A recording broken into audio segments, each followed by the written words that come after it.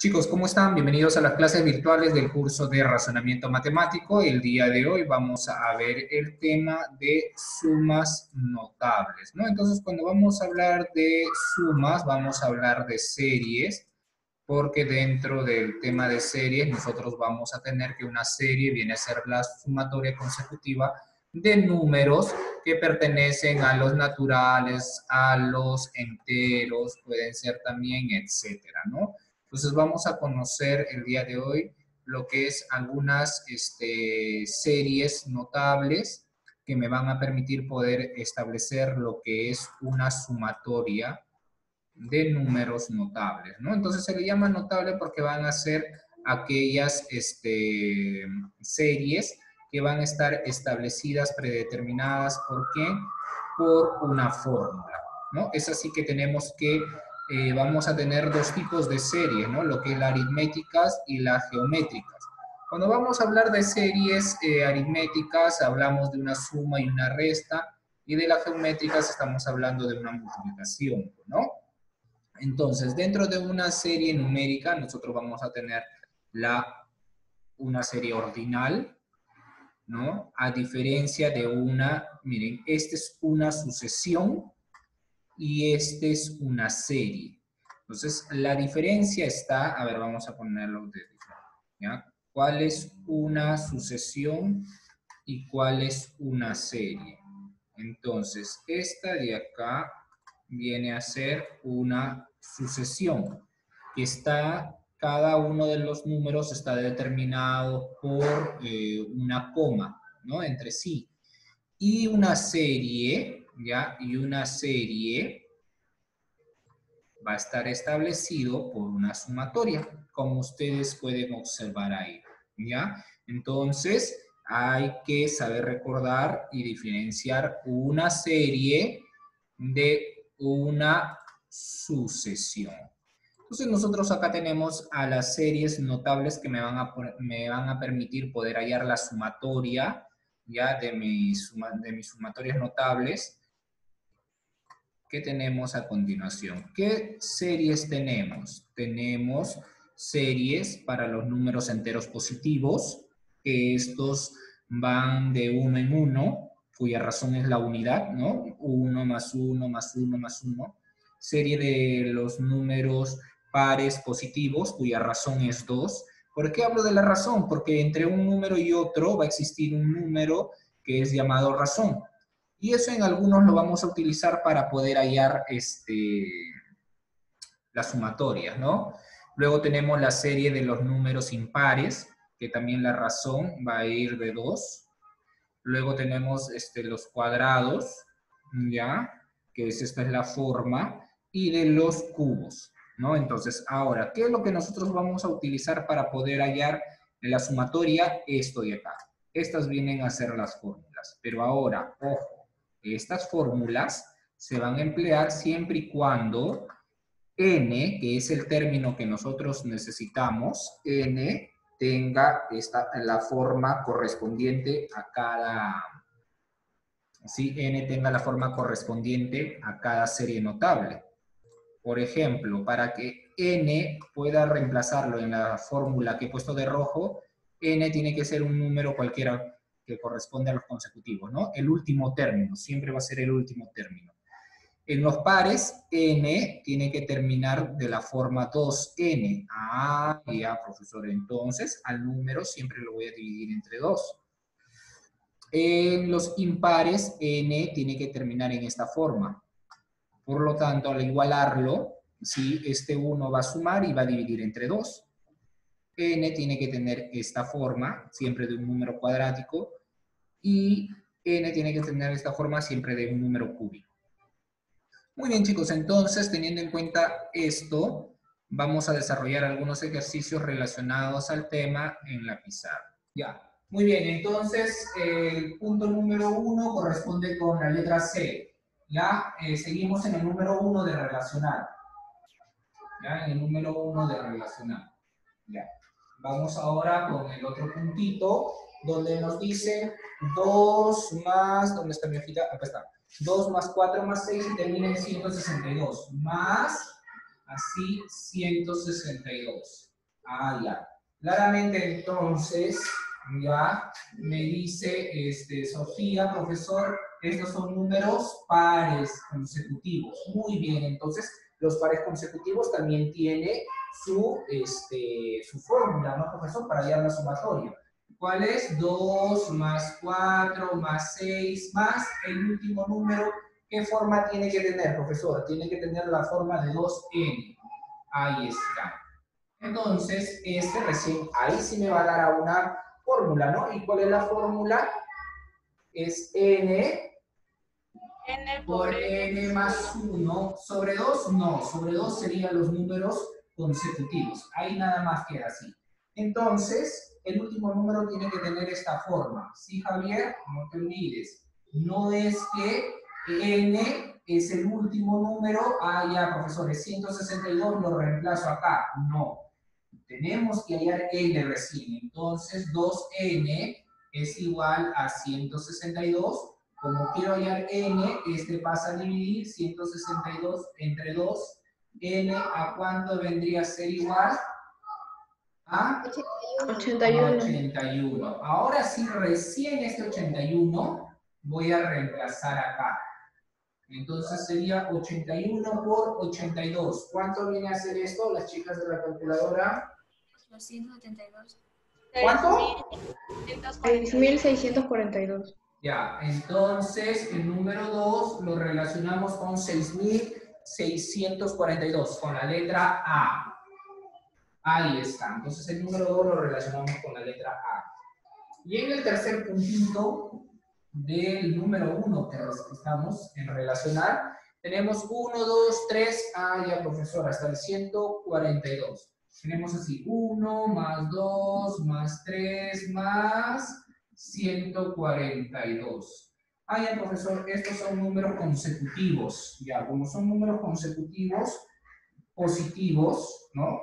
Vamos a trabajar. Entonces, la fórmula es 1 más 2 más 3 más el último número tiene que tener igual a n.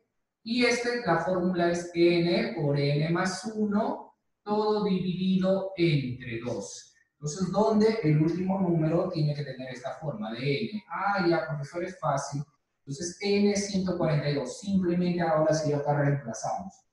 Entonces sería 142 ¿no? Sería cuánto? 142 por 143 dividido entre 2. A ver, chicas de la calculadora, ¿cuánto sale eso? 10.153. 10.153. Ya, entonces el número 3 lo vamos a relacionar con la letra D. Entonces, 1C, 2A, 3D. Ahí ustedes lo relacionan, ¿ya? Porque ahí tienen la facilidad que lo pueden imprimir, no hay ningún problema. ¿ya? Ahora nos vamos al número 2. En el número 2 también tenemos para relacionar. ¿ya? El número 2 también tenemos para relacionar. Vamos, número 2 para relacionar. Número 2, ¿ah? Tengo 29, 30, 31 y 68. A ver, así. 29 más 30 más 31 más, así sucesivamente, 68. Ah, ya, muy bien. Dana Pamela telepáticamente me dice, profesor, ah, mire, profesor, estos son números consecutivos. Ya, como son números consecutivos positivos, la fórmula, yo lo sé que es n, ¿no? n por n más 1 sobre 2, profesor, donde el último número tiene que tener la forma de n. Muy bien. Entonces, yo tengo que este es n. Entonces, ¿nosotros qué haríamos? En toda la razón multiplicaríamos, ¿no? 68 por 69 entre 2. ¿Y esto a cuánto es igual, chicos? 2346. 2346. Pero ahora, si nosotros vamos a relacionar, profesor, yo no voy a encontrar este resultado. Claro que no lo vamos a encontrar. ¿Por qué? Porque todas las fórmulas, todas las fórmulas, vuelvo a repetir, todas las fórmulas que nosotros vamos a emplear es porque empieza desde este señor, desde la unidad, en este caso de números consecutivos. Si fueran de números pares, por ahí, de números impares, por acá, de cuadráticos, por acá, de cúbicos, por acá. La fórmula es porque empiezan todos acá. Empieza. Entonces, pero esta fórmula que he utilizado, yo estoy utilizando recién desde qué número? Del número 29. ¿Y qué pasó entonces con el del 1 al 28? No están. No están, pero yo ya lo sumé. Yo ya utilicé la fórmula y lo sumé acá. Pero a mí no me piden la sumatoria desde el 1 al 68. Me están pidiendo del 29 al 68. Entonces, ¿qué es lo que vamos a hacer, profesor? A ver.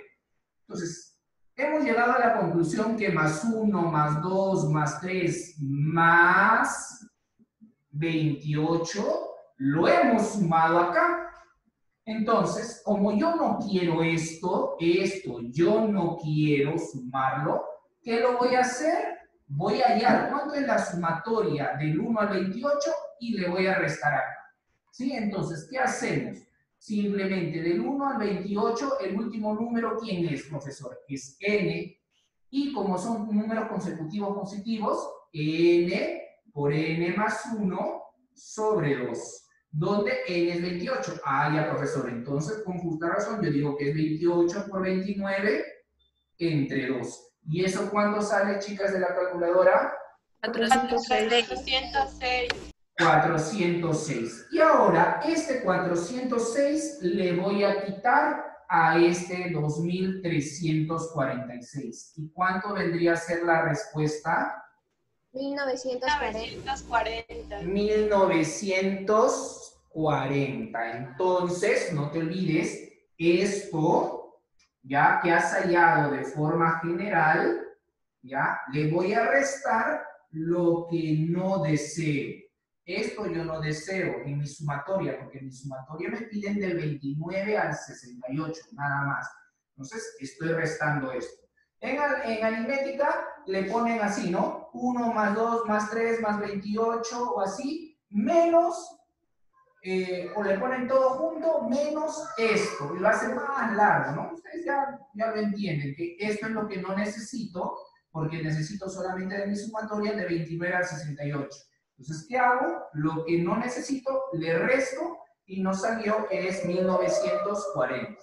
Entonces, el número 1 lo relacionamos con qué letra? 1900, la letra E, 1E, 1940. Y los otros va a tener la misma figura, ¿no? Va a tener lo mismo. A ver, en este caso, eh, tengo 35, 37, 39 y 81. 35 más 37 más 39, ¿sí? Y termina en 81. Ahí está, 81. Entonces, ¿qué es lo que tengo acá? Números impares, ¿no? ¿Y cuál es la forma que debe determinar los números impares, profesor? ¿Cómo terminan los números impares? Es 2n más menos menos 1, ¿no? Y la fórmula es n al cuadrado, nada más, profesor, así de simple. Entonces, el último número tiene que tener esta forma. Ahí está. Entonces, yo simplemente ¿qué hago? 2n menos 1 es igual a 81. Pasa a sumar, sería 82. Pasa a dividir, ¿cuánto vendría a ser eso? 40 y 41. ¿No? Entonces, yo tengo que n es 41. Entonces, simplemente, ¿qué voy a hacer? Voy a reemplazar. 41 sería 41 al cuadrado. ¿Y cuándo sale todo eso? 1681.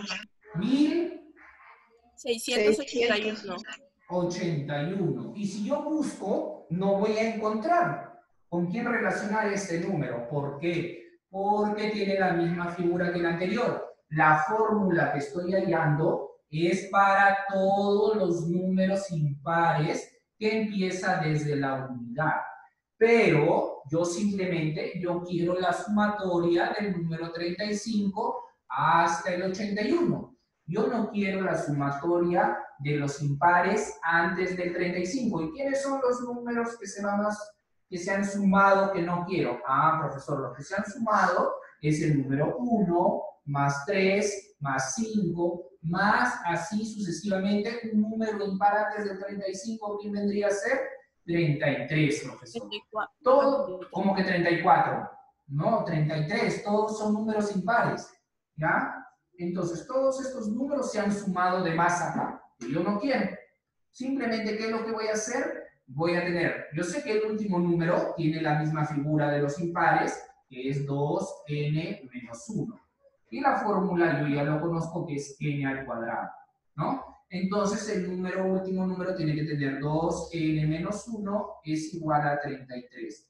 Este, 30, este menos 1 pasa a sumar, sería 34. Este 2 pasa a dividir, ¿cuánto vendría a ser? n 17. Siempre Dana bien seria, ¿no? 17. Entonces, 17 al cuadrado, ¿cuánto vendría a ser, chicos? 289. 17 al cuadrado. 289. ¿Cuánto?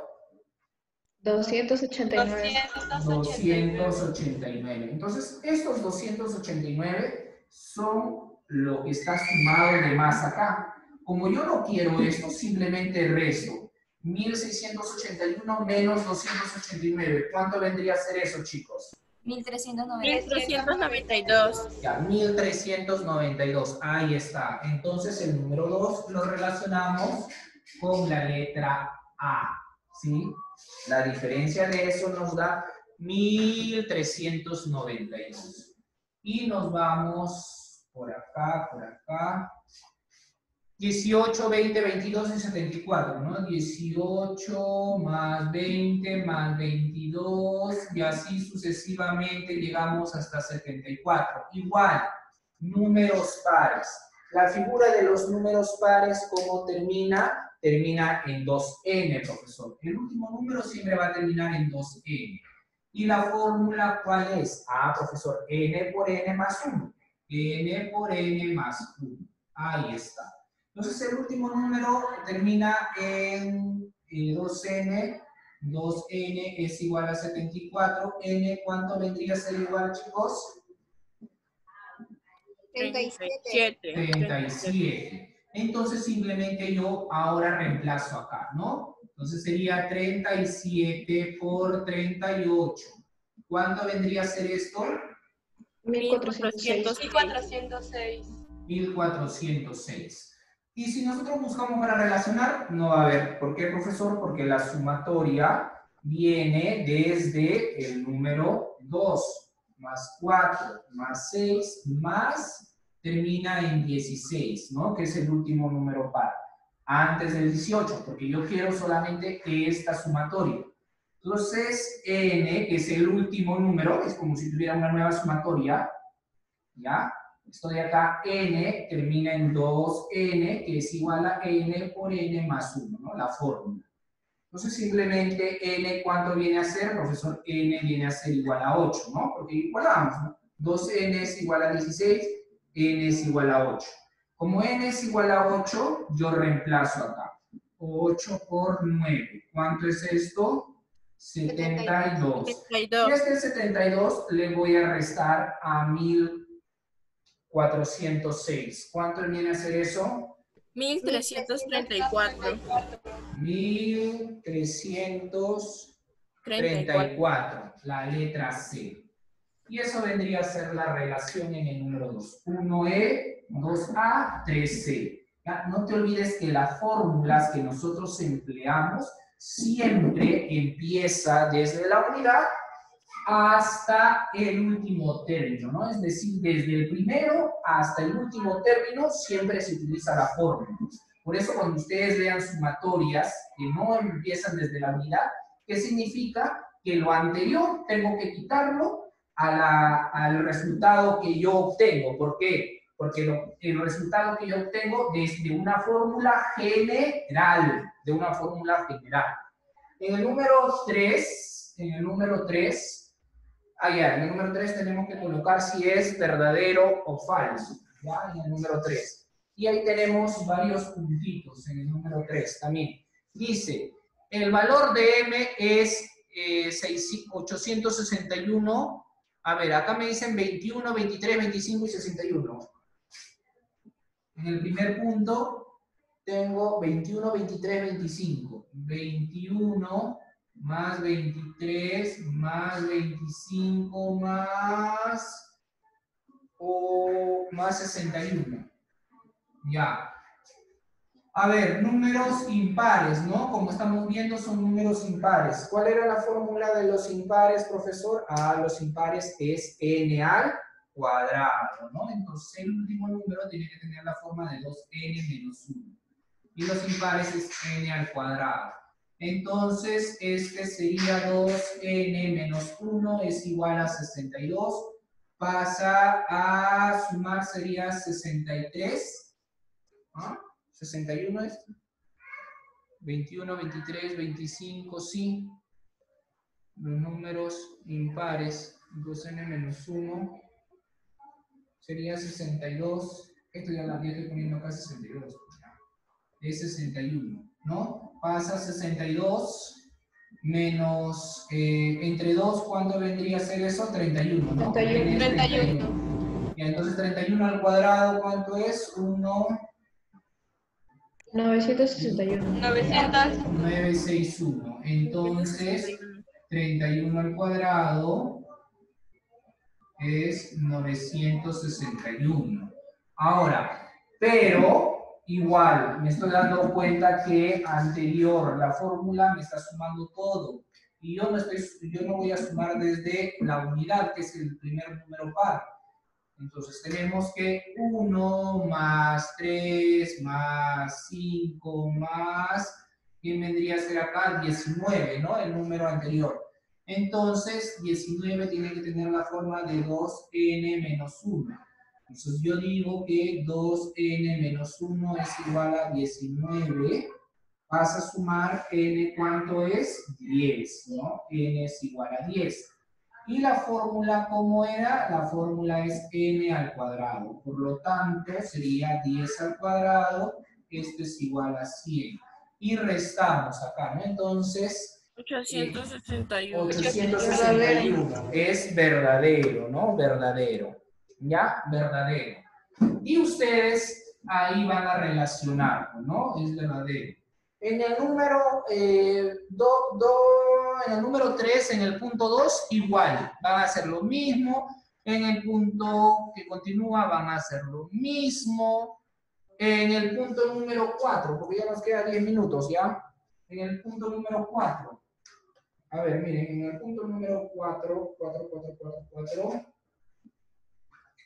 ya que tenemos, nos dan la sumatoria, nos dicen si, si, 2 más 3, así, 1 más 2 más 3 más, no nos dan el último término, no lo sé cuál es, pero me, me dicen que todo esto suma 1830, 1830. Entonces me dicen n es igual a 60.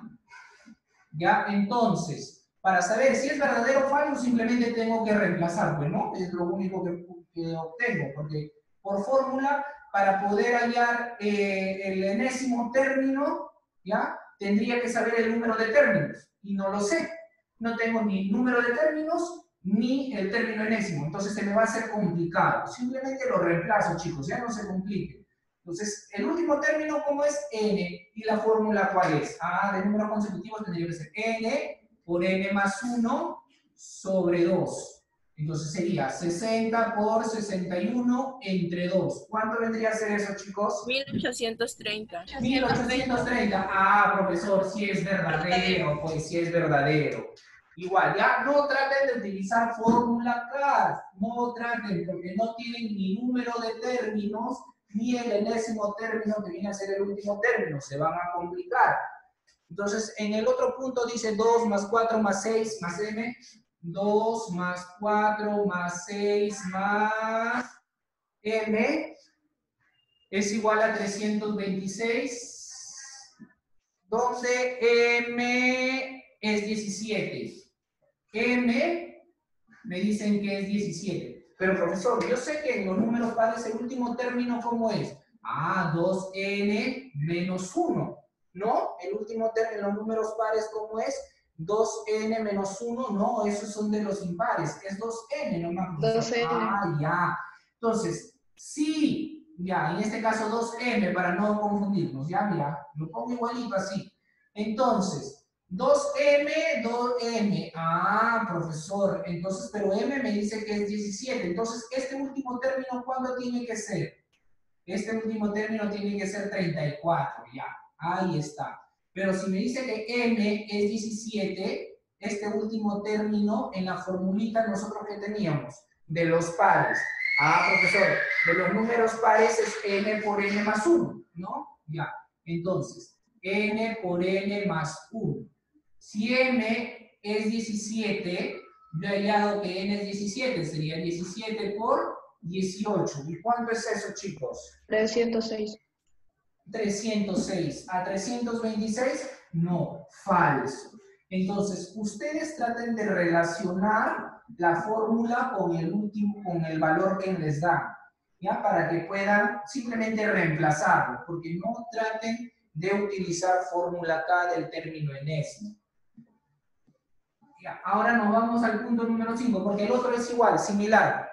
En el punto número 5, a ver, dice, en el punto número 5 me piden, eh,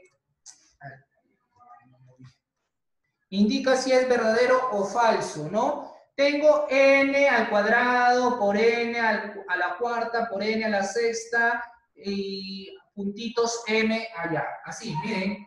N al cuadrado por n a la cuarta por n a la sexta, eh, puntitos sucesivamente n a la 200 y esto es igual a n por n no sé qué más.